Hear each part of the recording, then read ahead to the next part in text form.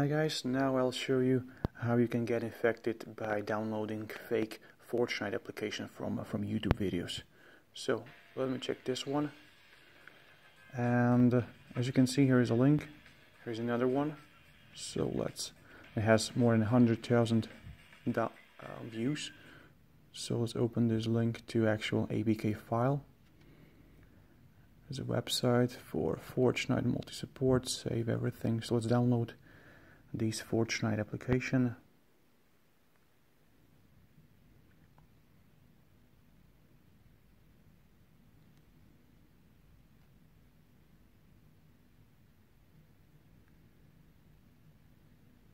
And as you can see, there are permissions. One of them is send SMS messages. Let's install that.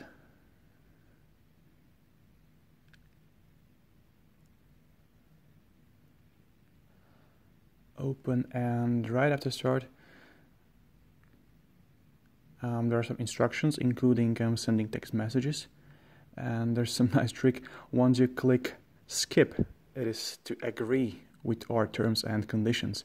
It's not actually to skip these terms and conditions.